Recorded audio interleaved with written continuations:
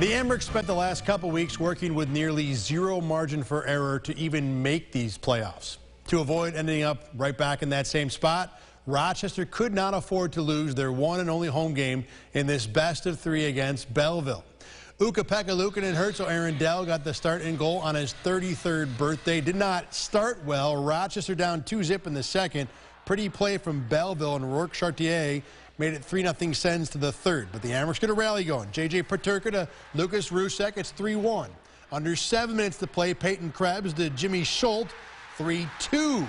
Under four minutes to play, Krebs the setup again, this time to Casey Fitzgerald. Tied the game. We are going to overtime. In the OT, Josh Teves from the point. Arttu Ruotsalainen and deflects it in, and that's your winner. Stunning comeback. Gives the Amerks their first playoff game win in eight years. A.J. Feldman was at Blue Cross Arena for every single minute. We go live to him right now. Yeah, that's right, Thad. It was looking grim for the Amerks to start off this game. As you mentioned, Aaron Dell gives up a goal on the first shot of the game, but the Amerks storm back from 3-0 down to pull off the comeback win in overtime. Peyton Krebs, Casey Fitzgerald, both down from Buffalo. They were fantastic. They had multiple points on the evening. You could tell they brought something else to the Amerks roster.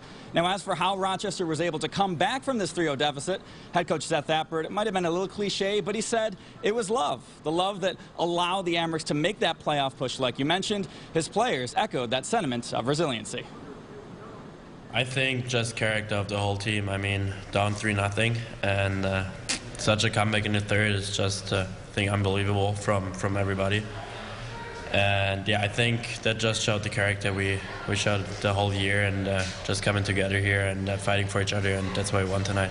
Overall, I think we played well, and in the first period, we just couldn't score, and the same thing in the second period. And uh, yeah, we just trust how we play the hockey and trust ourselves, and that paid off. We knew it was coming. We in the second there, um, we had some some great opportunities to score.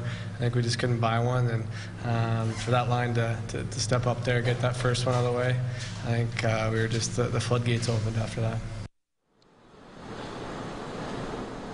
Not all good tonight, though. Linus Weissbach leaving the game in the first period with a nasty injury, could barely skate off the ice. Judging by head coach Seth Appert's comments, I would not expect to see him the rest of the series. However, this series looks a whole lot different than it did just a few hours ago. The Amerks will have two shots to finish off this best of three series, starting Friday night on the road at Belleville.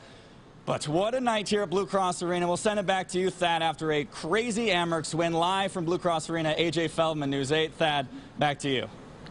Thank you, AJ. Playoff hockey is back, and it's awesome.